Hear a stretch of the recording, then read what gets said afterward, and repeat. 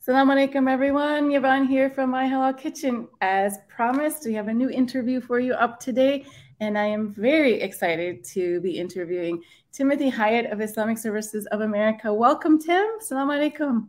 Wa alaikum salam. Thank you. Thanks so much for being here. This is epic because you are one of the very first certifiers uh, to do an interview. So I am so excited about that.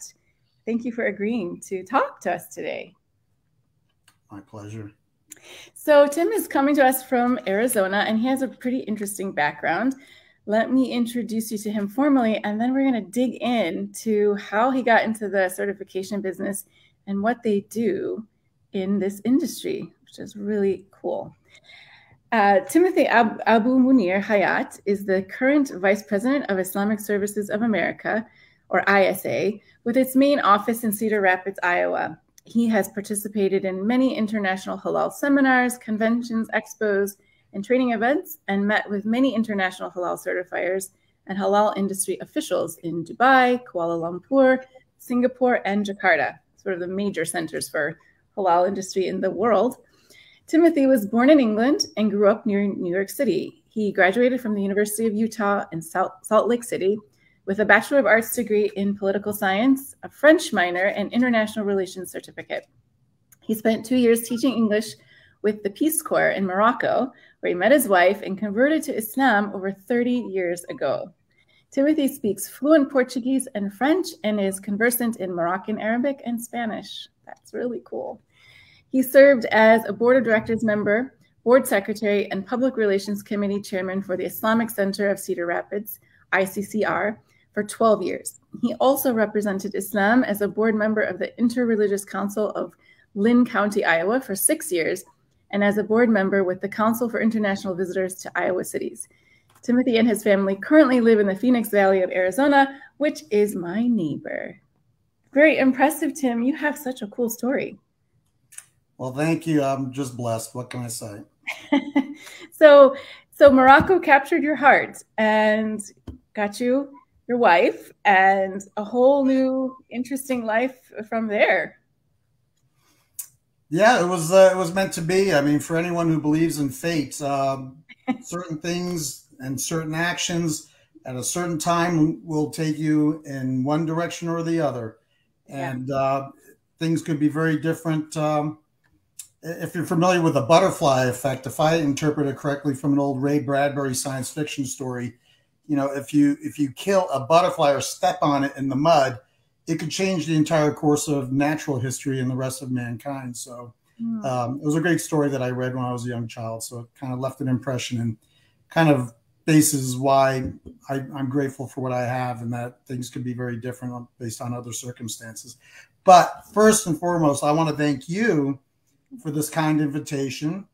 Uh, I do want to acknowledge for your new and existing guests and followers that you've been in this industry for a long time and represent more than just halal food. I mean, looking at your website um, and your Facebook pages and things like that, I mean, you, you touch on everything about halal, whether it's food and consumables to lifestyles and little bits and pieces of science and interesting things that um, make a difference in our lives. And so I think you're uh, very well accomplished, very well known, and I want to acknowledge that first and foremost, and thanking you for being part of this this program.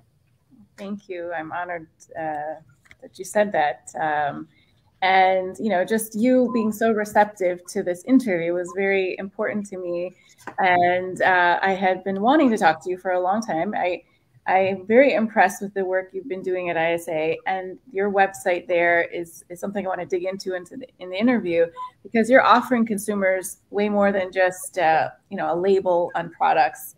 You're offering lots of information as well about the industry and globally. So that's really attractive to me. And the fact that as a certifier, you're you're so willing to talk about something that is so important to consumers I think really says a lot about the institution you represent. So I'm very excited for our audience that they're going to get a, a little glimpse into your world of what you do and you know how important it is for all of us to, to really know if our products are halal certified and why they need to be halal certified, which is something that sort of it's kind of like something that stays in the industry, but I think it's something consumers need to understand as well. I think it's important to be an open book um, mm-hmm. on a lot of matters. And for those who are inquiring, uh, if people have open eyes, open ears, open hearts, and open minds, they'll be receptive to learning. And it's a choice. It's a choice whether you want to learn and, and understand more. And in other ways, um, information is important and details are information. Sometimes people just want the quick and down and dirty. What does it take? What is it about? I don't need to know all of this. But we have a wide range of uh, a large audience of people who need to know this from manufacturers and consumers and supply chain partners. So exactly. And what's interesting is you and I have something in common is that we um, we're both very interested in sort of culture and international affairs, and then we both converted to Islam, and then our paths took us into the halal industry. So, if you don't mind, would you share with us how you went from like being a Muslim, a new Muslim, and then eventually getting into the halal industry. Like, how did that happen for you? That's so interesting to me to know.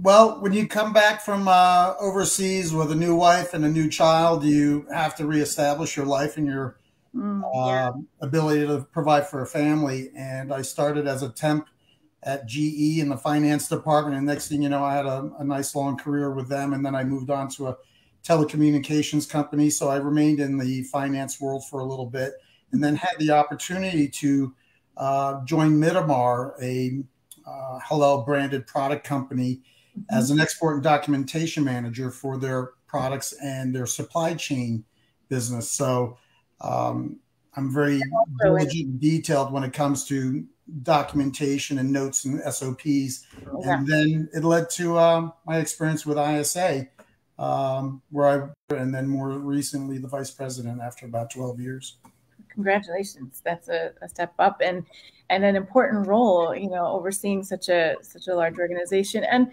you were in cedar rapids right? Because midamar is in cedar rapids correct?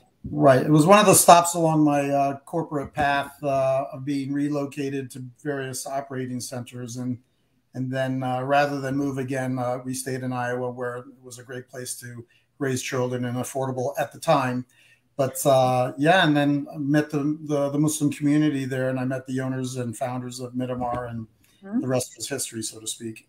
Yeah, and, and that's an important place in America for, for Muslims because that was one of the first. Was it the first masjid in the U.S. was in Cedar Rapids? First, if not the longest lasting, still existing uh, places of worship for Islam, especially west of the Mississippi River.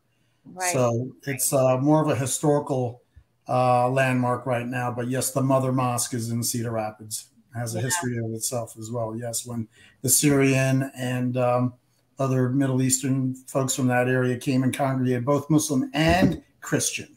Right, right. Um, you know, they had neighborhoods there and they had neighborhoods here. So yeah. Right. And I had, because I, when I had uh, talked with Midamar years ago when I was in Chicago, they had told me the story. And I thought, you know, that was when I was quite new too. So that, that history is really, really interesting. So, um, yeah, that's an important part for it. Maybe a lot of young listeners might not know that. Um, but uh, so, so you go from Midamar to certification business. So from the poultry chicken, the halal poultry business to certification business. What was that jump like? And how did you, you know, what experience did you have along the way, um, you know, up to being vice president? Well, I think based on my my corporate training and toolkit of skills and abilities and communication uh, traits, it was not difficult to transition to a business that required structure. Mm-hmm. And of course, there are halal standards that need to be maintained, and we'll yeah. talk more about that a little later. But yeah uh, detailed SOPs are, are very, very important. And being a Muslim, uh, understanding what halal is, because it's more than it's it's a way of life. It's more than just food. Absolutely. Um, and we'll talk a little more about that too. Yeah. So so um, ISA, Islamic Services of America. Uh, how? So you weren't there when it first started, correct? You you were you came in when it was already established. Correct. I was only 15 when uh, back in 1975 it started, so I, I didn't know what ISA was at the time. But our history can be found on our website, www.isahalal.com. And I can just jump in and tell you a little bit about how and why it was started. It was primarily uh, started as an outreach support mechanism for Malaysian and other Muslim overseas students attending Iowa State University in Ames, Iowa, and the University of Iowa in Iowa City. And it then evolved really for uh, for these students and those those types of consumers when the need for halal products became a vital part of their survivability, for lack of a better term, because halal wasn't wasn't easy to find, and it was back to the basics of what's halal and what's not, uh, based on their own upbringing. So that's a little bit about the history of how ISA started. I feel like the influx of college students around the country kind of facilitated a lot of growth in in the Muslim community, but particularly in halal, because what's the first thing people are looking for is food, right? Students are looking for halal food. And so, today, Muslim student associations and universities are working very closely together to establish those um, requirements and uh, options for students in their catering on the on-campus uh, meal right. system. So um, they they try to they're doing a really good job in a lot of places, and there's a lot more work to be done, I'm sure. Oh yes, oh yes. The college and university campuses are are huge. There's such a demand, and from what I understand, that because a lot of them are close to hospitals, um, you know, they they become even more important because a lot of Muslim doctors are coming into the campuses to eat on you know the halal food. So that's really interesting. There's so mm-hmm. much demand. Mm-hmm. So tell us, okay, so for consumers who are looking at products they see this certification label on meat, they understand, okay, yes, this means that someone has vetted this meat to be halal, whether that's hand slaughtered or not. We can talk about that in a moment. But let's talk about other things like water or uh, certain drinks, other drinks, or product, veg, vegetable, you know, uh, snacks, products that don't have meat. What is it that, because I've heard a lot of consumers say, ah, that doesn't need to be halal. They're just trying to make money off of this, but they really don't understand some of the intricacies of that, the whole holistic process of bringing, you know, foods to market. So, can you tell us about perhaps some products that you do certified halal, that are not meat related and why you certify them halal? Certainly. Um, I think that that's an important concept that most people, whether they were born and raised and then came from the Middle East or other uh, Muslim countries in the Southeast Asia or Africa, North Africa, or anywhere, um, they grow up with what's halal and they know that their meat was slaughtered according to Islamic law, and they know that there isn't pig uh, or pork products next to another product in the open market or at the butcher. So these things don't really come into play when they're thinking about what's halal and what's an easy decision for them to make. Of course, uh, not consuming alcohol, but there are uh, there's the khamr, the, the drinking alcohol that will cause inebriation. And then there's the more chemical synthetic reaction of ethyl alcohols. And that's a deeper topic as to what could or couldn't be in a product because they they act as a carrier, as a solvent. They evaporate during cooking. So there's a lot of things as to the ethyl alcohol that come and go, but yet there still has to be only a minimum residual amount left in the finished product. But to talk about water or air filters and things that people would say that doesn't need to be halal certified, we don't make the rules. We just follow them and we apply them based on customer needs, client needs, um, regional needs, export needs. Malaysia is probably the only country that I know of right now that actually certifies bottled water. Okay, and that is because it's water. It's water, but water tastes differently, right? It depends where you source it from. And you want it to be clean and pure. But how do you get to that clean and pure stage?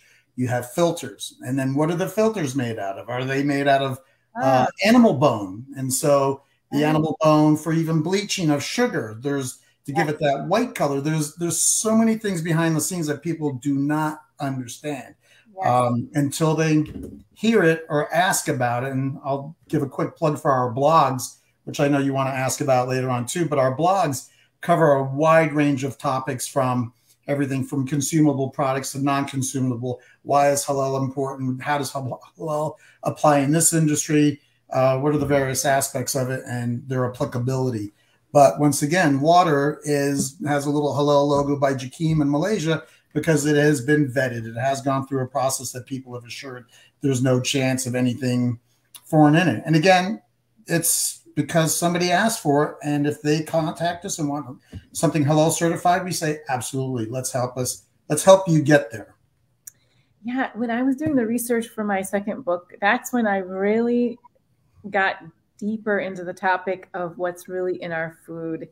And it wasn't really just what's in the food itself, but it was also the packaging um, and the and the and the manufacture or the processing, like the conveyor belts of which food comes on, or the oils that can drip from. And some people might think that this is minutia; it's not really that important. But if if you if you are putting your name on something and saying that it's halal through and through, you have to make sure that that entire process is halal. And what people don't seem to understand is that, you know, there could be a pork product on a conveyor belt before your nice halal product was was on that conveyor belt. Or um, now there there's all kinds of technology coming out, right, where they spray packaging with uh, lard, or right there's certain things that happen that you wouldn't really think would happen in food food industry. But when i saw i saw um, uh, jewish uh, vendors at a packaging show and i and i had asked them you know like why is some of it kosher? And they explained to me and i'm like well because we have similar needs when it comes to monitoring and vetting and all that transparency right? So interesting the name of the game and the real term is uh, diligence. I mean, you have to prove that what you've done uh, followed a formula for the certification. And once again, we'll talk about that in a little bit uh, when you prompt me. But otherwise, there is a flow, there is a process. Traceability is an important word. You talked about segregation. You talked a little bit about sanitization, that a production line has to be fully sanitized before a halal product or halal certified product runs through it.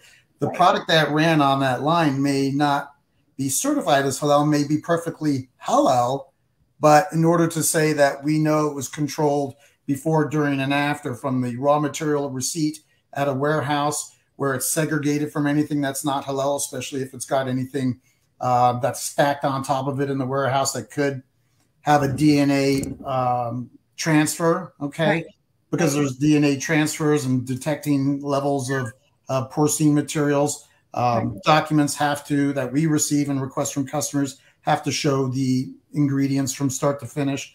We do visit and audit the facilities to make sure everything is good from start to finish. So, uh, once again, segregation, uh, scientific testing, and here's another aspect of halal is that it's a combination of science and religion.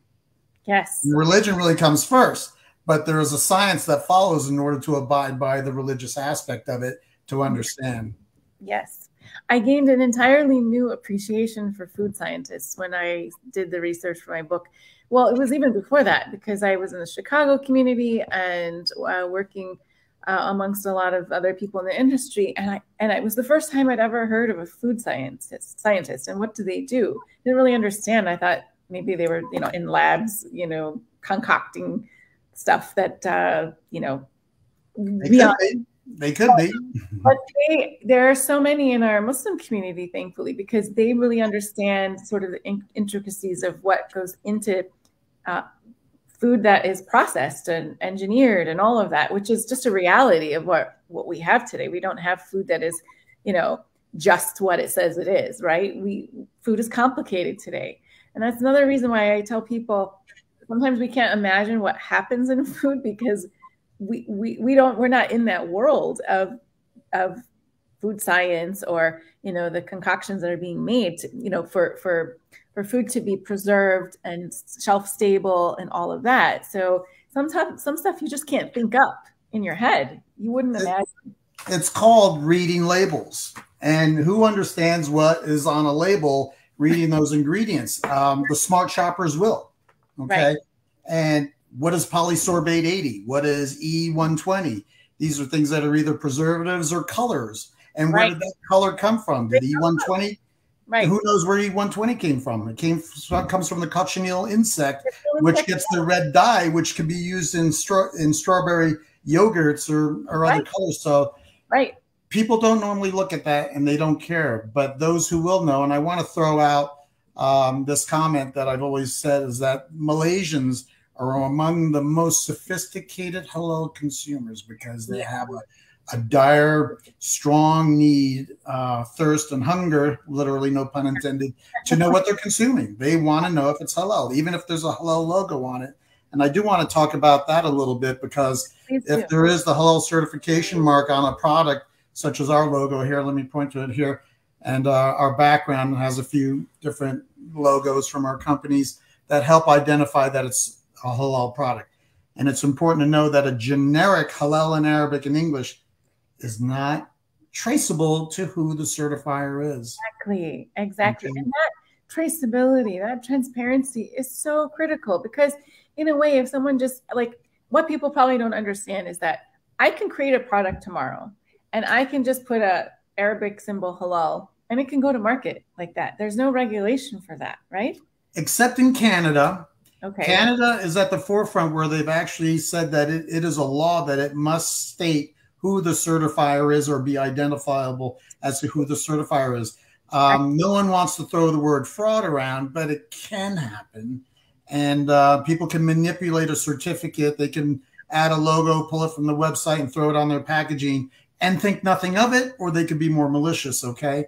But they think, well, I know that it's halal compliant, so it's only a potato, okay? But, you know, carrots and potatoes in their natural sense when you pull them out of the ground they're halal by nature. But as soon as you go through a process you turn it into a carrot juice. You start adding preservatives. You add sugars. You add you you add cooking oil to french fried potatoes that are frozen and ready to cook. What's right. preserving it? What was used in it as a seasoning it, ta- okay. it, it it's no longer the standard halal by nature exactly exactly it's a really fascinating world actually and that's why i feel like when um, a certifier such as yourself is so willing to talk and so transparent that that gives me a lot of comfort as a consumer to buy the products that have your your your label on it because I know you're reachable. I can call you or contact you. I you have an amazing website which I want to get into. But that makes me comfortable as a consumer because people are I think Muslim consumers are pretty good at reading labels. They they want to know. I mean, and we're dissecting all these lab kind of you know this vocabulary that's out there. I tend to tell people. Well, in the beginning, I used to tell people just get the most natural product as possible. That way, you avoid all of that. Because I myself didn't know enough at that time. Now that I know more, I'm a little bit more like, okay, I I understand what some of that is, and it's fine. Some of it I would just avoid, but you know, it's a lot of work for us to do. But that's why your business is revolves around your halal kitchen.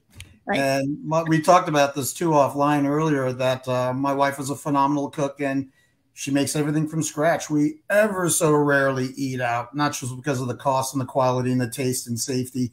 Um, it's just not the same, although she certainly deserves a break. And I can only chop so much as a sous chef, but she makes the magic happen. And uh, yeah. it's it's a it's a real it's a big deal. But today, with society and people are in a hurry, they want to be able to pull something off the shelf, ready to eat, ready to consume, something that's easy because uh, everyone's on the run and on the move. But the halal certificate gives the the product that trust factor, as you said.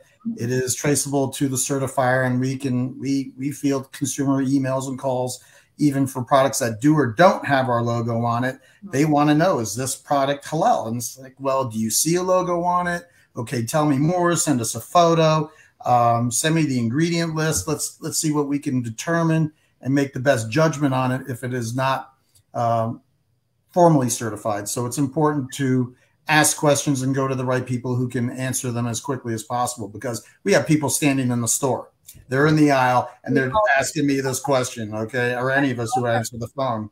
So well, and it's not just convenience, right? It's there's there's there's needs, right? We have nursing homes, we have colleges and universities, we mentioned, mm-hmm. we have hospitals, we have humanitarian aid that needs to be halal certified to Muslim countries, right? And Muslims that are you know displaced. That's something that I'm very passionate about because you know they they also need to have halal food you know as part of the you know respect of their beliefs and uh, um, dignity. So mm-hmm. so it's such a huge service that you're providing even just fielding questions even if you know they're not for your products. But um, that that just brings me to just taking a look at your website um, well i want to get back to the products in a second but let's let's jump to your website for a second you uh, have a blog there now, and uh, I love it because it really provides lots of information on various aspects of the halal industry, such as pharmaceuticals, for example.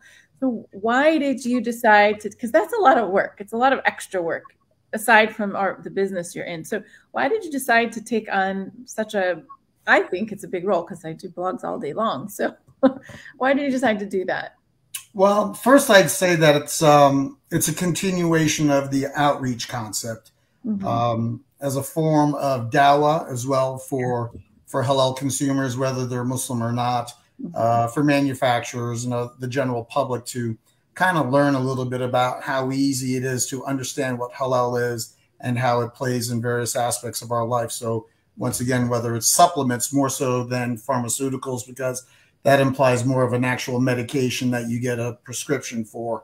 Um, you know, whether it's um, the Menveo vaccine or, right. even COVID vaccines, and and then that's another whole uh, topic about whether or not it's um, permissible to have a porcine ingredient in a life-saving medication, exactly. which becomes the term. And I'm not a scholar, but uh, daruri, I think it's called, where it's uh, you have no choice if you want to survive, and you you really, really, really have to have it in order to uh, to survive something really, really bad. So, but once again, it, it, it presents um, the wide range of what halal products cover. Um, our president Jalel Aossey is a visionary in many ways about the growth of not only our business but uh, serving our customers and the consumers and in a global mindset. So having our uh, halal news and information in a simple, relatable way for our clients and people to visit um, is really important to have it readily available. So the range is quite wide, uh, quite wide, and I would direct people to the top right of our main website, and it'll talk about halal news, information, blogs. And you yeah. can click on that. We publish those every week. So. I, I, put the uh, the link for people to to look at, and actually, someone is asking about it too. So that's great. So hopefully they're looking at it now. Um, and Umar Umar Ahmed is asking question that I, was my next question, which is about certification for products other than food. So what other types of products do you certify or are certifiable?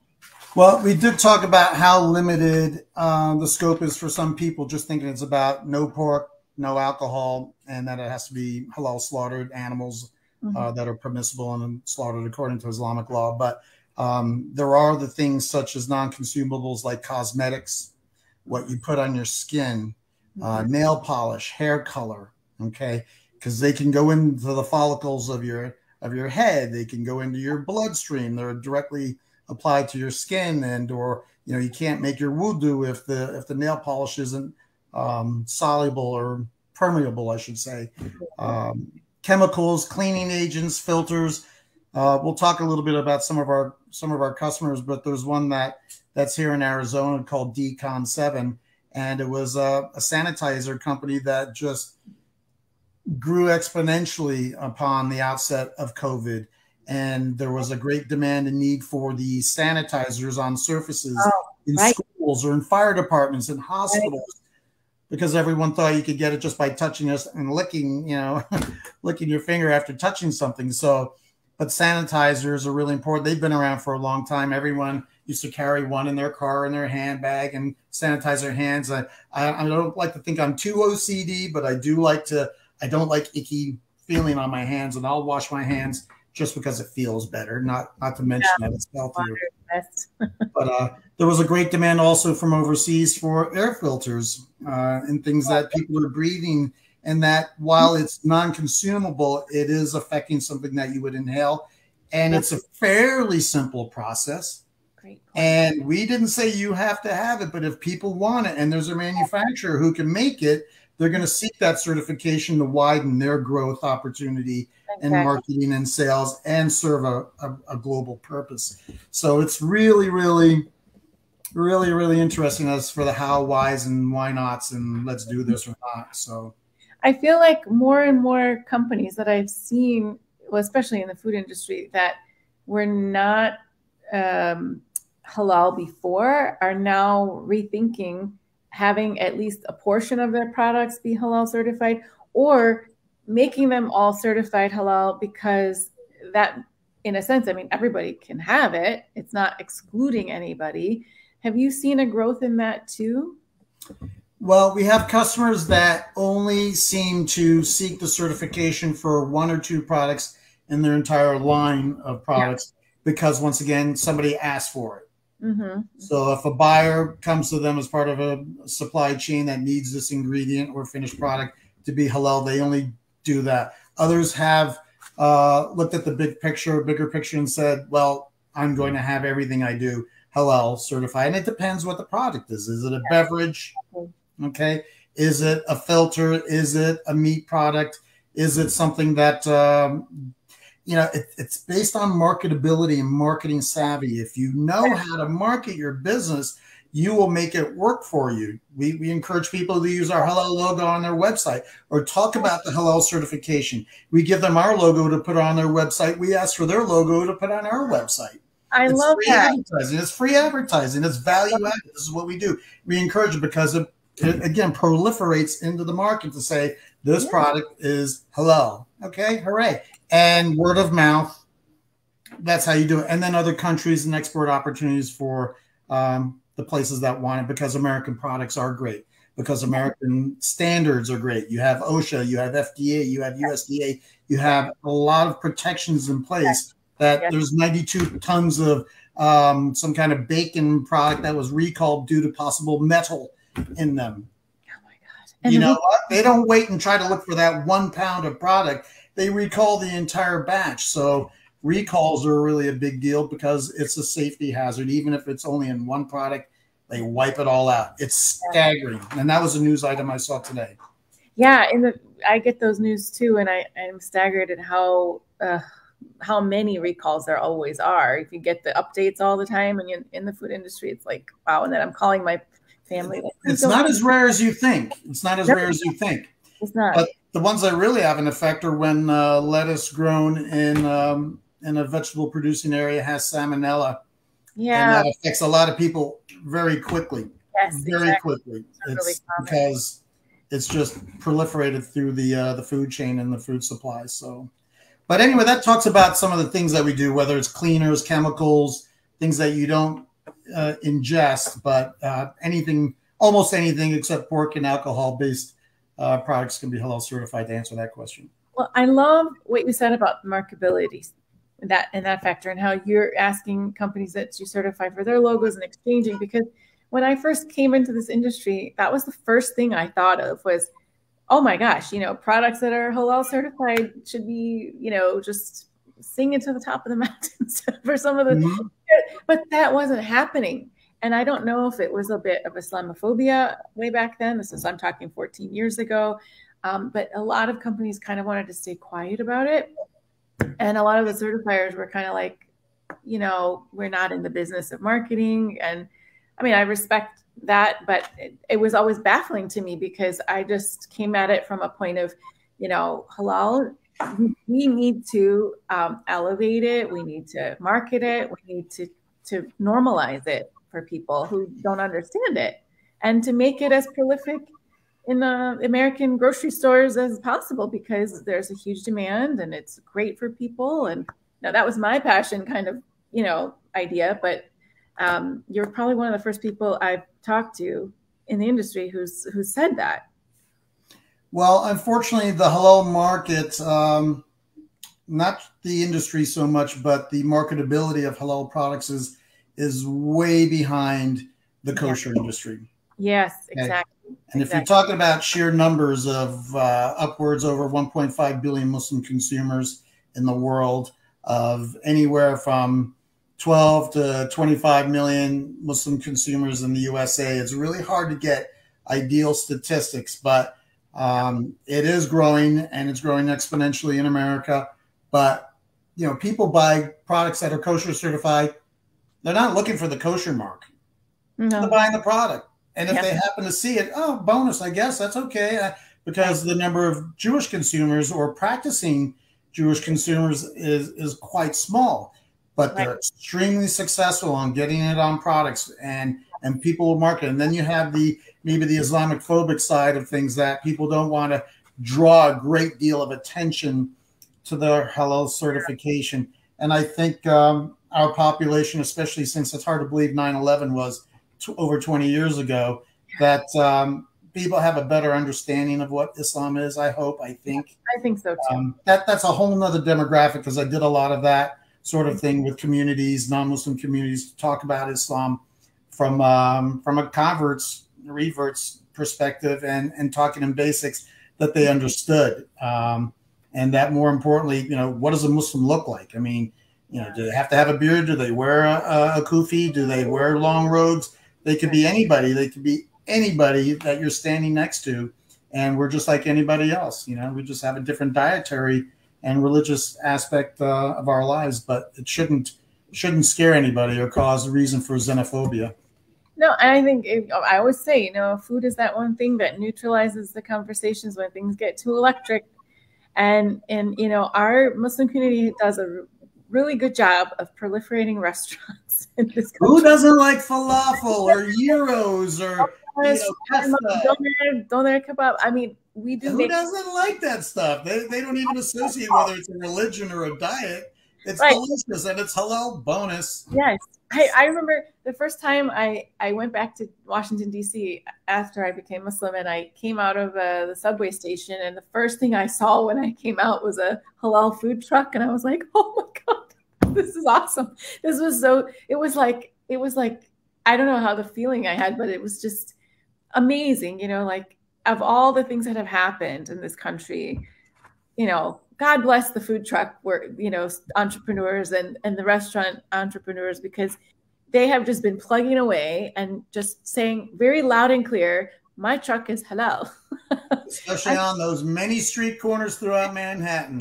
Yeah, exactly. I grew up with those. I mean, I was I, I grew up just outside New York, and I, I, go to the city every once in a while. I was an hour and twenty minutes away, and you go to a, a show or a museum or whatever the case, just as kids. And you know, who wouldn't grab a hot dog on the corner with uh, with all those goodies? And and I'm right. sure it exists in Chicago and other places, but New York was the home and origin of food trucks or carts, well, I should say. Well, then there was the halal guys. You know, I I in the same weekend that I went to the Martha Stewart show, I had the halal food, the, the halal guys, and I thought, well, this is something you know special. Who would have thought? But we you know it was kind of that motivation to like keep going because if there's one country in the world that i believe on this planet that can, can that can break through and make something like lemonade out of lemons is in america. And you know i think we've done that in the halal space halal food space. I think we're doing it. So i'm you know for, for all the intents and purposes i think um, halal food is kind of moving that needle forward and pushing through a lot of stuff, which I feel things are getting better. Don't, don't you? I do. I, I really do. And once again, this is not something we force. This no. is something that we this, is something we facilitate. Yeah, exactly. Okay? exactly. We're the facilitator for uh, because it's good for the economy too. It's sure, it's good for the American economy for yeah. exports of products domestically and internationally to uh, get the products that people need milk powder, dried milk powder in places where they don't have fields of cattle or wheat exactly. and things like that, uh, finished goods, raw materials, syrups, flavorings, aromas, whatever the case may be. Yeah, so you mentioned those things. So supply chain is very important in the halal space too, right? People think of we're thinking of meat products and finished stuff, but also the the ingredients or the byproducts that go into other food products are also very important. That whole supply chain being halal, that's a whole other subcategory of this industry that you're you're working. There's ingredients and there's sub ingredients, yes. and then what is the source of origin? We that's just part of our analysis. And I'll, maybe I'll just jump in right now and talk about the certification process flow. Please. Yes, but it it, it starts with somebody having a need and an interest. Mm-hmm. And they go to our website, they go to a few different certifier websites, they make some calls, and invariably they'll they'll go with uh, whoever answers first, gives them the information they're asking. And also, what I like to do is give answers to questions they haven't thought of that they haven't asked. I like to answer the unasked questions so that they have even more information to base a decision on. But um, pricing is part of it. Uh, ultimately, it's a service, it's the recognizability of um, you could have a local certifier, you could have one that's globally known. Uh, we have many colleagues in, in this industry who we know personally as well as professionally.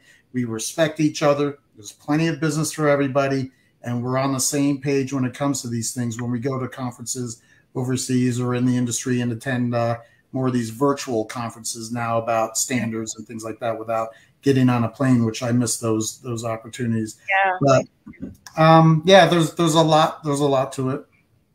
So let's talk about scholarship. Um, do you refer to Islamic scholars for, um, you know, the per- permissibility, for example, of a cow slaughter is very sort of complicated. So one of the examples I have, or the wine or alcohol issue. How do you mm-hmm. get the um, parameters of which you certify something as being halal within your understanding. Okay, I'll talk about standards a little more in a second. I'll just finish quickly because I failed to, to really continue the thought about after someone expresses an interest, they complete okay. an application, you get into a contractual service agreement, they understand the pricing and the terms and conditions, the duration, and uh, some of the indemnifications and things that we need to represent for each other not a terribly long thing. If anyone's used to service agreements or contracts, terms and conditions, it's it's uh, falls along that. But uh, then we start obtaining the product list of things that they want to certify. We do a deep dive in the product review aspects, and these things are also explained on our website. But then we also do a facility audit. We want to know what's going on in the facilities. We have to witness it. We can't just take right. word of mouth.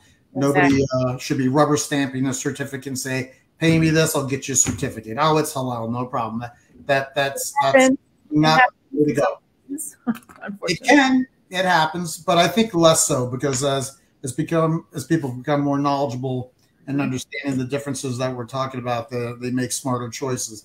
Then after the audit, everything is either approved or has a non-compliance or non-conformance that, that we have to review and say you need to substitute this gelatin because it's not halal right. Uh, you have to substitute that. Oh, this contains this. Even names of certain products, we can't call a beverage that contains no tequila tequila sunrise special. You know, I'll suggest make it uh, tropical tropical flavor, tropical beach. you know, come up with something that associate with the name, you know, of, of something great. that is not meant to be.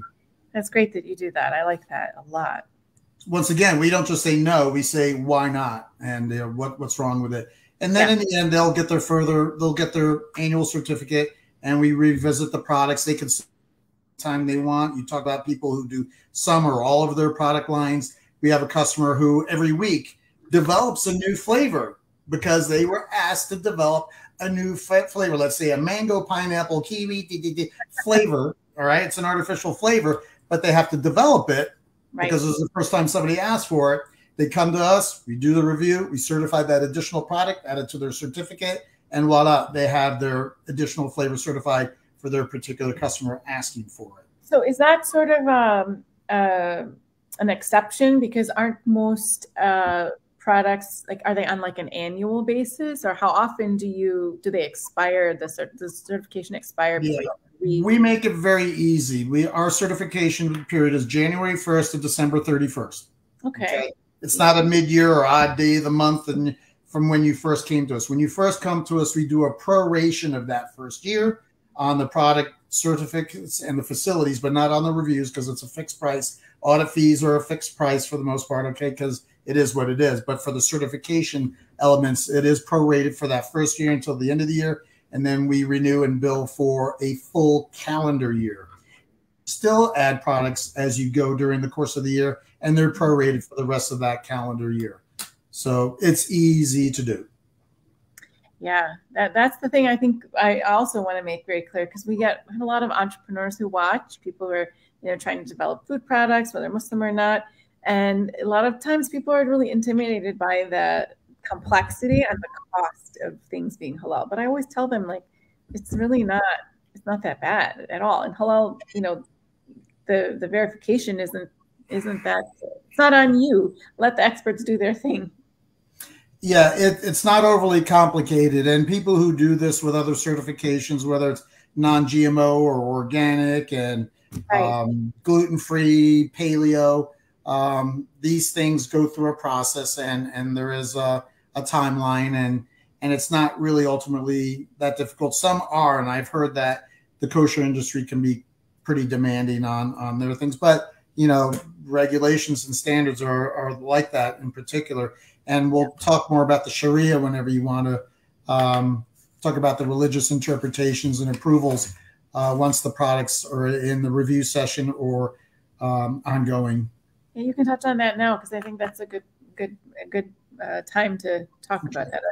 Well, we do have a Sharia board, as most um, halal certifiers will, and these these religious experts are often very well educated. They've either studied at Al Azhar in, in Egypt or um, in Medina uh, and elsewhere. So they're, they're, they're very well educated um, from a religious aspect. So they can participate in the product reviews and those questions. They participate in the audit facilities to be an observer and give a religious interpretation.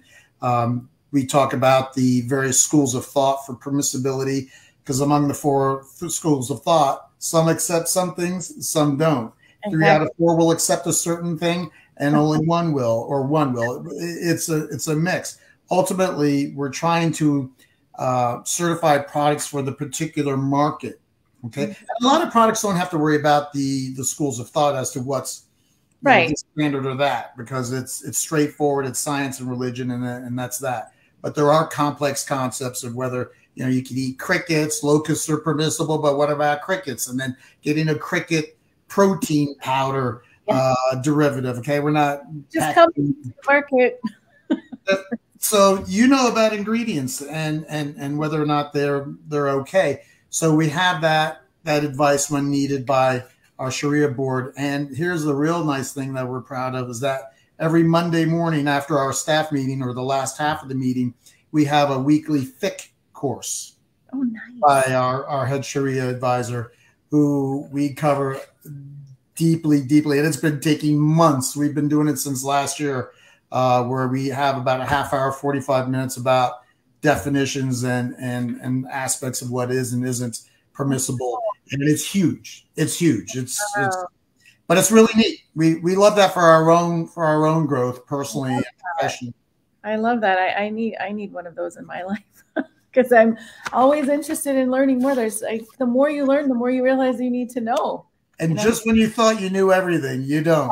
So yes, exactly. And what's so interesting, what I love about uh, well, many things about Islam, but you know, we do have these four madhab, four schools of thought, and it's always interesting to me, like when I post a picture of like a recipe for shrimp or mussels or oysters, which I love all of those.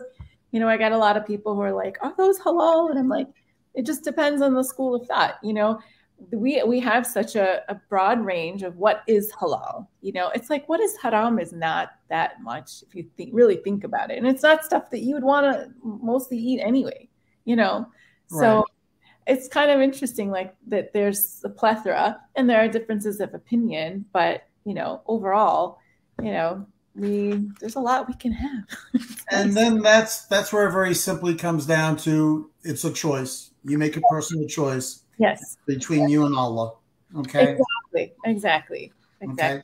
Okay. Um, depends how much guilt you can manage and and whether you can justify it. Who knows? These are all again things that people can determine whether they want to accept uh, halal slaughter because it's Ahl Kitab as referenced in the Quran, or if it has to be strictly only a Muslim every time, all the time, in a certain way, facing the Qibla, any number of things like that. So. Right right yeah and and the, that is also that is a huge um uh, you know i've seen things go viral on twitter about stuff like that and i always avoid it because i think you know there are variations that we need to kind of address sometimes and, and not be so hard on people who have a difference of opinion within the parameters of halal you know you you believe that i believe that but as long as we're not doing the haram it's fine you know in my opinion. So well, and that's just it. It's, it's sometimes it's cultural.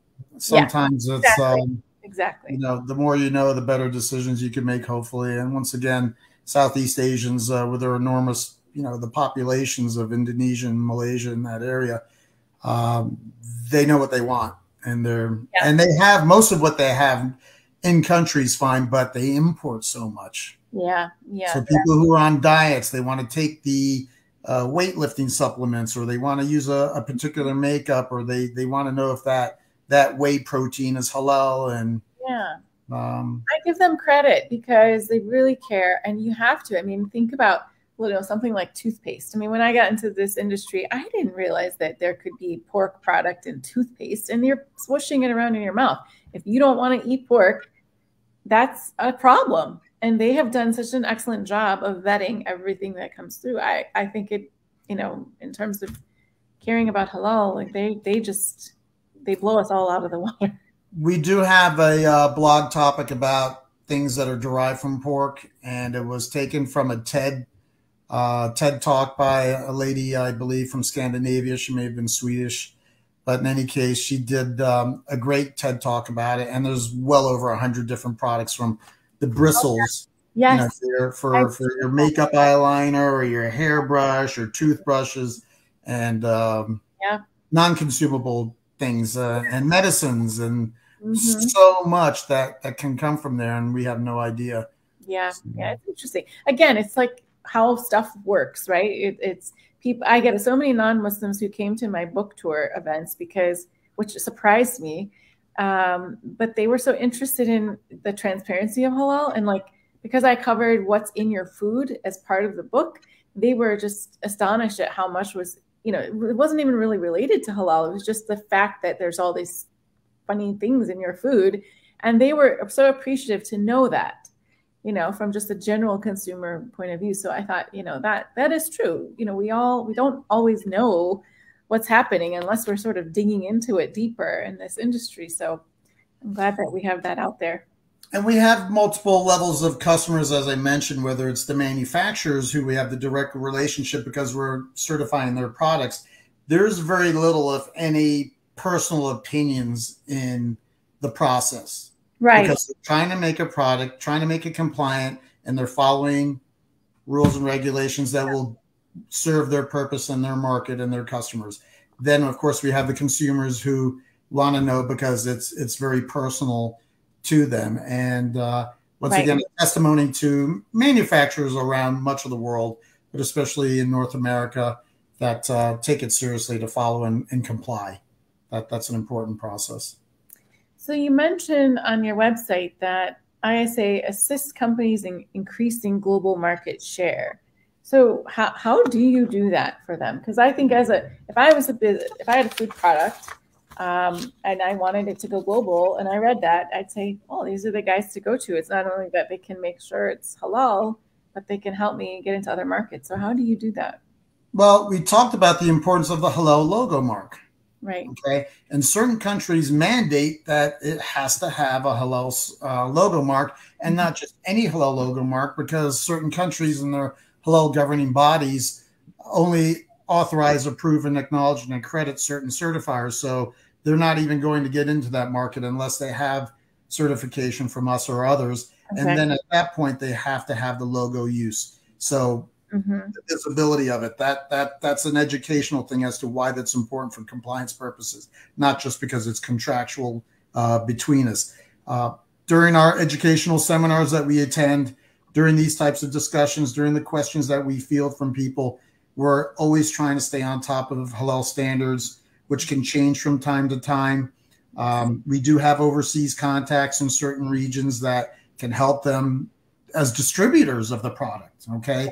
They want to get their product into a market, but they don't know how to even start. There are programs through um, the U.S. Uh, Trade Export Type Commission. There's, I can't think of it, but there's an export library in the USDA website. There's other mechanisms that if you find out and look it up locally, they'll help you with marketing in certain countries, whether it's dairy products, uh, agricultural things. So, um, poultry and egg council, dairy council, a lot of these different companies, and we'll help point them in that direction. Right. So that that that helps them leap uh, to the next level. But I think basically our travel experiences, uh, attendance at these these industry developments, and then more importantly, as I love to call it, just the client relationship building and maintenance. Mm-hmm. Yeah, a number of us know these customers and QA people specifically are regulatory by first name. Yeah, yeah. You know, hi Bob, hi Jane, hi Mary, whatever the case may be. Yeah. And they'll come and ask us questions, or we'll we'll share information because we know it's part of their industry, whether it's a chemical industry. It's like, oh, there's been a development in this industry, and we like to share that. Hence the blogs, hence the halal news, hence right. picking up the phone when it rings, okay, answering that email in a timely manner. That that value added service um, hopefully speaks volumes. And I did a seminar just on the value of customer service from a halal perspective and how it helps mm-hmm. everybody. Yeah, I love that you're not only uh, fielding those questions, but but the website is so transparent that there's so much there too because it's it's not hidden from people. It's it's very much uh, you know a resource, and that's what you know anybody who's trying to get into this space. It, it's helping them to not be deterred from getting that halal mark because some people might say well mm-hmm. everything's so difficult.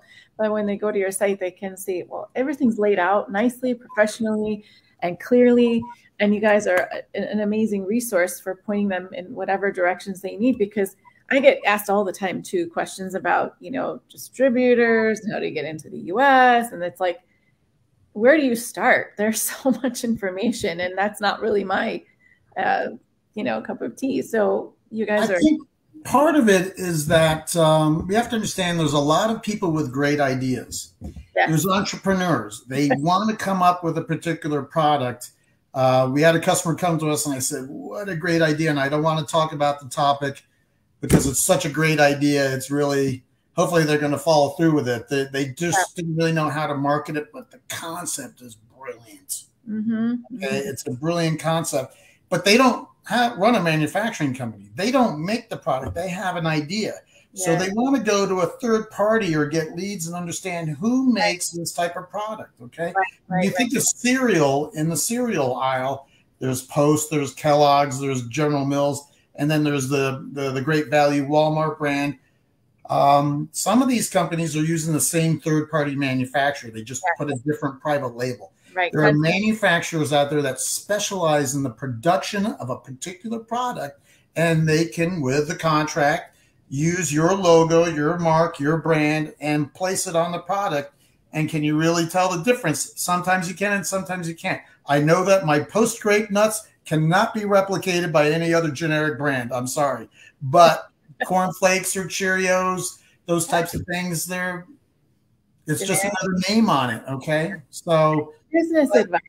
I That's just want to really finish quickly. Sorry, is that it's important for those third party manufacturers to understand that there's value in being halal certified themselves. That way they can say, I can produce anything for anybody because I'm a halal certified facility. I know how to comply, I know how to make this. And that just blows open the doors for the people who seek the third party manufacturers as well as for those third party manufacturers now, of course, we would have a private label agreement for that third party private label to have with us so that they would have the right to use our logo on their products, receive their own certificate naming their product by the brand and the type. You can't write on the coattails of the manufacturer because they're just the manufacturer. So hopefully that kind of makes sense. But yeah. I wrote an article about that a couple months ago on our blogs. Again, there's a wide range of things you can can find, kind of like a bibliography of uh, things that might be of use. It's almost like you're you're also a, a business resource for people because, I mean, initially people might think that they would just come to you because they already have a product. But in reality, they can come to you to kind of get the whole, you know, idea of getting started and and moving through the process. And even if they don't have a food product, but they have, like you said, a facility, they're also they can also be a client of yours, which is probably growing in demand. I would say if halal products are growing in demand, then we need places to to um, manufacture them or to, to facilitate the packaging, Correct. all of that packaging. Correct. Correct. Or there could be a packaging aspect where something is then made and it's sent in bulk and then it has to go somewhere else to be spray dried mm-hmm. or exactly. liquefied and then put into containers that are appropriate for that type of finished product. Right. So it's that, a long chain. And yes, once again, it's education. Where does my food come from? How is it made? What's it made of? And who made it? Yes, that's that's my mo all the time. Is where do you know where things come from? Do you know where? You know, it's not just the farm; it's also the packaging. It's the it's everything. It's so, animal welfare. I mean, it goes back to Temple Grandin and how the animals treated before slaughter, during slaughter. Um, exactly. There's a lot of neat stuff. So we can solve all the ills of the world. We'll just have to make this a weekly event. But yes. Uh, with the tea, with just a show, we can we can do that. We can conquer that. I have a million gazillion ideas to discuss, and I can be here all day. I so. hope we still have a, um, an active audience. Uh, we haven't seen any QA come up and Uh, I know yeah, in time you'll be asking for that, but can you tell how many participants we have today? Have you seen the someone is asking a question about a sustainable we have a sustainable oral care business. Do you certify this type of business? TwiggyFresh.com. Uh, certainly. Call us. Why not? 319 362 0480 or visit our website and apply online that way. When, I'll put the website again and people can uh, yeah, and I think you let Omar know that, uh, but we'd be happy to talk to him about uh, about his products because yes, that fits with the the lifestyle products, the the the cosmetics, the the the supplements, the health and wellness industry. Big deal, big deal. Okay, one last thing I'd like to touch on before I let you go, because I know you're a busy guy and you have lots to do. But I really um, I liked the part of your website also that you where you talk about your partnership with HMCA or Halal Montreal Certification Authority. I was just in Canada for the Halal Expo there, and mm. I love Canada. I love I love the industry there, the halal industry. The people were great. Um, I like what they're doing. I like the products. I like the services. So this really caught my attention. So can you tell us more about the partnership and then, you know, how how important is that? How what are you doing to work together? What what influence does that have in the industry? Well, we knew um, through our Halal conferences and events, um, the owners of Halal Montreal Certification Authority, based in Montreal, uh, and and the opportunity came up in a discussion, and we pursued it, and we had the opportunity to purchase them um, because they had established a business and were ready to to sort of move on, and and I think that's really important for any company. Let me just put it that way that you need to have succession planning. Okay. Not everyone needs to. I mean, but if you want to continue from a, a smaller business aspect of how do you continue the business? Who's going to take over and do what you've done to create and establish that business and, and serve the customers? So we have the opportunity and we mirror the same standard operating procedures we have at ISA. We've um, been able to extend and expand our reach for customers who are multinational companies that have businesses both in Canada and in the USA. And um, you know that's that's not where the our vision ends. We we look to uh, to overseas markets where we can establish uh, uh, potential to serve customers along with uh, somewhat partnerships that we have and friendly partnerships, I should say, with other certifiers. Because if we can't certify in a certain country in Europe, and it's required that the certification exists there in order to enter Indonesia, that it has to follow the the, the country of origin where the products are made.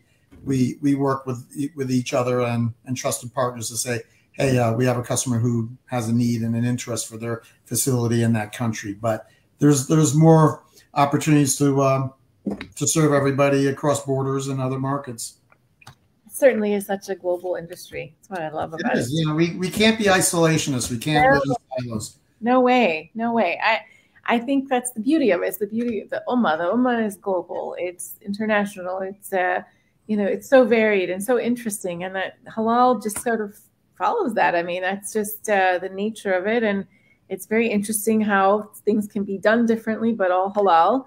And um, you know, you meet so many cool people that are doing really cool things. And I think it's just getting more and more interesting as more and more people are entrepreneurial around the planet. And I'm, I'm right now I've been seeing some things going on in Africa, and I'm like, wow, this is this is interesting. this is not something we haven't seen before. People are more and more entrepreneurs coming out of Africa. So I just think that um, the, the future is really bright in the halal space. Alhamdulillah, alhamdulillah. And I have to say, that's one of the things I really enjoyed about the travel to these conferences. Of course, yes. learning and having the opportunity to uh, be in the front row, but to be alongside our colleagues in this industry. Yeah. Oh, I tell you, you know, people from Brazil to Australia to to uh, to Britain to France to Vietnam to South yeah. Africa, you name it, India, Sri Lanka, all these people we had were friends and brothers and sisters for life. Okay. Oh yeah. Uh, that is that is really to me really touches my heart. I love it. I love it. It's growing into spaces that aren't, to, you know, traditionally Muslim, like Japan and Thailand, and that gets me exciting, excited too, because, you know, I, I love traveling no matter where it is, but to be able to, you know, to feel welcomed and feel like, hey, they they recognize halal, and like Japan's airport now, they're you know talking about I think they've done a lot of things there in the Tokyo airport to um, facilitate travel for Muslims. Like it's just it's a fascinating industry. That's a whole other topic too. Halal tourism. Okay, that's not a new concept. No. And Japan was preparing to host the Olympics. Yes. A couple summers ago, and that really hurt them uh, with COVID. Yeah. But otherwise, they had they were preparing to make it a Muslim friendly, halal yes. friendly country. Yes. From hotels to foods and, and the convenience of being able to entice visitors from Malaysia and Indonesia right next exactly. door, practically. Exactly. Come, and whether it's the Olympics or anything else, uh, they have money, they want to travel, and they want to be able to have halal beaches and facilities for their families, halal yeah. friendly. That's the next uh, project that I'm interested in too. So, so do you see in the future maybe certifying uh, hotels and restaurants, for example? Um, that already is happening in some of those markets, as you said, like Japan and Korea, mm-hmm. um, that are forward thinking. Okay, they're very visionary. Uh, restaurants, I'll just give you my opinion that it's very difficult here in the States to have a fully halal certified restaurant because you have to have everything in the restaurant halal certified from mm-hmm. the mayonnaise to the seasonings to the daily um, starches and, and things that the, the staples, I should say. Mm-hmm. And it can be done, but who's going to monitor it on a regular basis? In Kuala Lumpur, there's auditors all over the place for Jakim. They'll pop in and surprise visit, but the majority population is Muslim, so they do it. They have to and they will. Uh, right. For regional areas and restaurants, we have something that's called a, a verification program that attests to and monitors and knows that they are sourcing at least their meat and poultry from halal certified, reputable, known certifiers. Uh, you know, with more than the benefit of a doubt that yeah. we see the certificates and we say we know at least you're sourcing that. But to state that it's halal all the time, every day, all day, unless right. you have someone that can pop in and visit anytime and multiple times a year to make sure that the inventory, the cleaning, the handling, that there's literally no pork. We, I, you've any of us have gone to halal restaurants, halal restaurants, Indian or, or ethnic ones, and you ask, is the beef halal? Yes. Is the chicken? No. Right. Or vice versa. All our chicken is, but not our beef. Or yeah. Okay, so it's hit and miss. So don't assume that yeah. that's the case. Or you go to a Middle Eastern restaurant, and on Saturday nights they have belly dancing. Okay, is the whole restaurant halal then? I mean, you decide. Okay, but they have alcohol. They have a bar and so you can't do it. Okay, you can't. Yeah, tough. yeah, yeah. I think I think that there's just more room to grow. That means there's more business to come. There's more. Wait, wait alhamdulillah, we're not. I don't see us being out of work anytime soon. That's great. No, no. So if the, youth, if the youth are interested in becoming food scientists or in the business of halal tourism, and I think there's there's work. There's definitely work for them coming up. So inshallah. I think it's great. It's it, the, it's it's an endless opportunity, um, one that most of us do not do or would not do or should not do if we don't feel it. Absolutely. You don't believe in it. Yeah. This is not a data entry job. This is not a nine to five. Pick up the phone, answer a general question. We want to go above and beyond. We have um, a fiduciary and religious and other obligations um, to do this right and to do it with heart. And I can tell you uh, there's a great deal of passion in our company uh, for this. We're, we're very, very vocal amongst ourselves and how to do it better every day. So, well, I, I, I just had a conversation with some folks this morning about that, and I was addressing the issue of you know um, the values based system that we're in, and how you know you you really can't be in this unless you care so much. It's such a heavy responsibility, and you know it's something I I think you really have to love because it's a lot of a lot of work, and, but it's and, good. And we're responsible. We act as agents for these other countries that are importing or yes. uh, accrediting us and, and holding their trust in us for for their countries and their and their populations. But it can be very rigid. There could be a lot. It's very demanding. It's not as easy as I've de- depicted or portrayed here every day because there's ISO standards. There's standards that are put forth that we have to maintain for this country or this region according to right. Turkish or UAE or Saudi, and and it's just become more and more difficult, more and more costly, more and more time consuming, and we have to be experts in these fields. But I can tell you that um, our staff, and we talked about this at the beginning of the discussion about food scientists, that um, they're qualified because they have a background in biology, microbiology, right. chemistry, uh, agriculture, uh, agronomy, whatever the case may be. They we have people who are experts in different lines, and I've learned as I've gone, but I, I'll never be able to consider myself a full expert. But over time, you learn what it takes, and and we're yeah. not all religious scholars. We may be Muslims, but we need to um, continue honing our skills and our resources. It takes a village, right? Of, of, really qualified really educated people to you know not one person can be everything. That's why we need each other. And it is a huge responsibility. And it's not something that people can just start up and then start smacking labels on things you know? The, this is not not okay. Well thank you for what you do because you help uh, spread the word so to speak. You your your topic materials are varied varied and um, and fun and fun so uh, and you've been doing it for a while. I don't know how long you've been blogging, but I know my Halal Kitchen's been for a while. Can you believe it's been 14 years? I can't believe it. I feel like it's just oh. been yesterday. now, was that your business itself or the blogging aspect too, the true publicity and marketing? All, all of it? All of it, all at once. It was all at the same time. I mean, I never intended it to really be. Uh, uh, I mean, I took it seriously, but I never intended it to be like an entrepreneurial endeavor. I just really wanted to write about food and travel and halal because I felt people just didn't, you know, on both sides of the coin, like we need to know more information and reduce, get eliminate Islamophobia and all of that through education. And my MO was always just, you know, getting the word out about who's doing what in halal and promoting all these great things that I see. I just love, you know, to to tell people about people like yourself and your organization because you're such a great service. Just like you know people who create great halal products like people need to know about them. That's i'm very passionate about doing that um, because i know i don't do what you do. I can't do what you do. And I, you know i know my my space is is in this like voice you know and i and i love being that. But i but having known people like yourself who are in this space it's i you know i respect the amount of integrity and hard work and just focus that it takes to do something that you know is such a responsibility as putting a label on products. So you are a pioneer in this. Uh, just as ISA, we consider ourselves a pioneer, yes. certifier of North America. I yes. mean, really the first, the first one. I mean, Absolutely. people may want to dispute whether it was what a halal business right away in 1975, but it evolved very quickly and mm-hmm. it did precede others.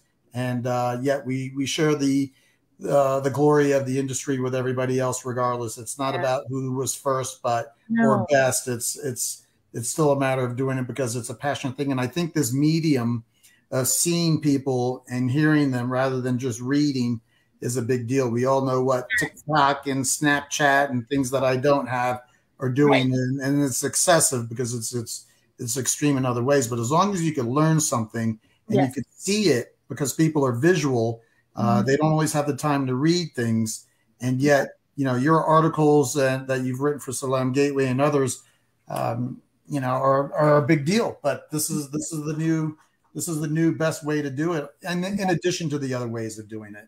Yeah, I think blogs mixed media right now. We're we're doing everything we can, and that's you know if the more people get educated about this space, I think the better. More people can join the space and provide you know bring their expertise to it and also just get information out there so that um, I just really want halal to be uh, respected and um, normalized in this country and around the globe, but particularly here at home. Well, we hope, inshallah, we can accomplish that. And once again, the medium hasn't, it isn't new because Steve Jobs did these things and uh, there were always recorded seminars and talks, but um, we know what counts for us, and that's important. Yes, exactly. Well, if I'm ever in Cedar Rapids, I would love to come by and see you guys at the office and maybe have we have a great facility. We have a beautiful facility that uh, we moved into and updated a few years ago. It's it's it's just great, and I do miss the old days of being in one office. We have a lot of people remotely, but uh, the old days were fun because you could get out on the floor, have yeah. a conversation, get it done, and move on without yeah. you know the email. But we use MS Teams and all these things pretty often to uh, yeah. do face to face and a voice to voice. So. so you get to be in sunny Arizona in the winters. Yes, yes, yes. I think I think you're the envy of the office in the winter time. I, I, I got to be mindful of it. I, I, always check the weather in Cedar Rapids and uh, empathize with them with what they're going through. But um, then again, we pay for the heat. But uh, yeah, that's true. But but yeah, I don't want to rub it in too badly. But we have choices. Let me just leave you with that point. Sure. Okay. We all have we all have choices. You need to follow your dream. Okay. Everybody has a story, a yeah. background. How did you get here? How did you get there? When you're traveling overseas and you're on a plane or wherever you are, it's like, what was their life about? What, you know, what did they go through? And those who are dealing with hardships, now we're turning into a, a philosophical, sociological. Well, I like it. Please continue. That's great. I, I, you know, you look at people who don't have what we have, you know, mm-hmm. the homeless, the, the, the drug addled and addicted and circumstances that happen. And yet there are those that have risen above and and have managed to achieve what they want uh, because they really really tried hard in the face of adversity. But ultimately it comes down to choices. Follow your dream live your life and uh, respect everyone who because everyone has a story. Yeah that's so true. I'm so glad you you brought that up because uh, you know typically I, I like to get i like to get perspective from people like yourself because you got here for a reason and we don't always get to figure out why. We don't always get the sort of secret sauce but i guess it must be your mindset. Um, and and some good fortune. I mean it is blessings. I never say i'm lucky. I don't use the word lucky. I don't either. You can't say it's luck because that's dumb luck. It's it's faith. It's it's faith. It's it's, yes. it's blessings. Yes definitely. I always say you know I wouldn't be in this space unless Allah wanted it, right? And um, I just real quick in the very beginning, um, when I started the website, I actually lost the whole thing. The first after a year of doing it, the entire thing disappeared because I played around with something and I pressed one button and I lost everything. And then I went back and I, I said, "Oh my God, maybe I shouldn't be doing this. Maybe I wasn't supposed to be. I should have prayed istikhara I should have asked Allah should first. Should have, should have. I didn't think of that. I just went into it and thinking, okay, this is the right thing to do. I went back. I said, oh, astaghfirullah, I should pray istikhara. I prayed istikhara. And a couple hours later, the tech guys from the hosting company came back and said, we don't know what happened, but we were able to get everything back except a few photos. I'm sorry about wow. that. Wow. What a miracle.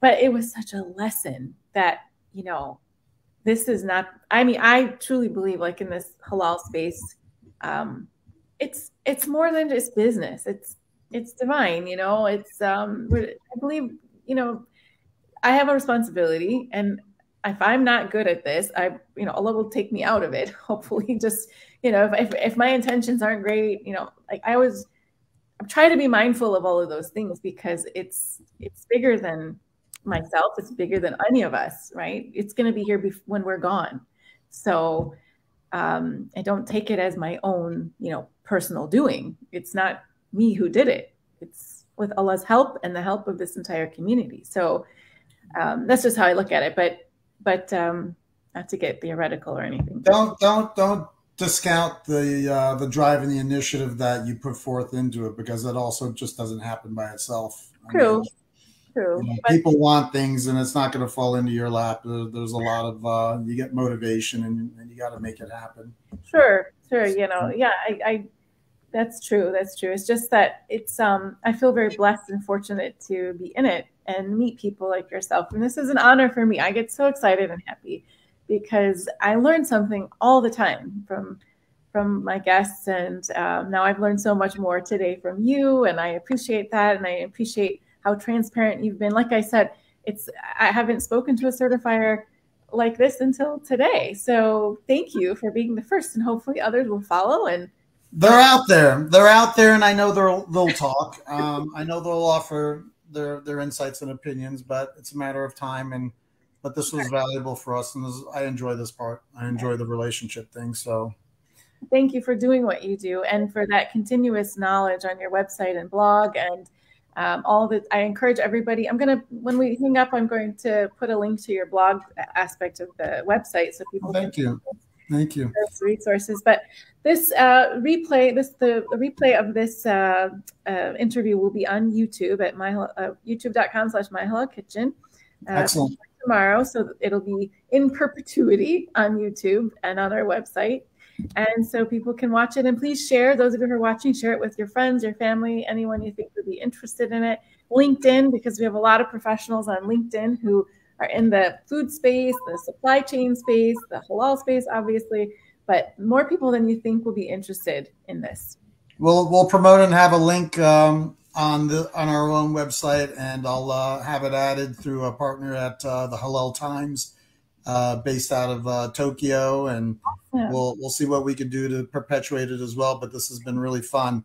I think. Um, uh, are, are, there others that actually have any questions that haven't asked them verbally or in the in the in the chat space? Umar is uh, is a big fan, obviously already. So it was really intense. I think he's got a product that he wants to talk to we'll you about. We'll reach out to him. We'll reach out to him very soon. But uh, but I'm glad he's enjoyed it. I hope uh, there's others that are out there. That sure there will be. A lot of people just don't, so, they get a bit shy about asking questions. But very exciting. I will forward anything to you that comes my way.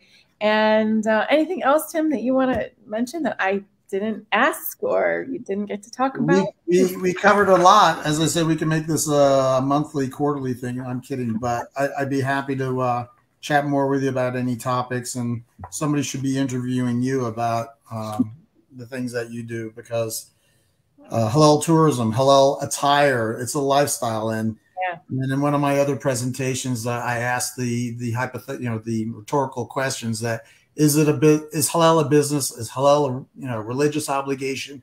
It's really all of the above. It's a way yeah. of life. It is. Um, it is. And, and the Southeast Asians that they believe in Malaysia, they, they say halal is my life. Indonesia says that halal is my life. You know, they, they, it's, it's a big deal. I've yet to visit those places, but they're on my list. I, I really think that it's about time after all these years to. Inshallah, I, I hope there's a return to those types of conferences and the Yes, yes. I really do. I really do. I miss that. And then we can all meet in person. It's great to do that. Inshallah.